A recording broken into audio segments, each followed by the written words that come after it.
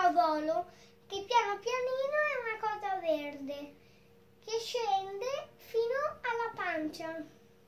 Poi nel sangue ci sono i globuli rossi, le piastrine, i sali, i zuccheri. E poi c'è persino il fegato, uguale al sangue però un po' più, un po' più che si carica l'ossigeno.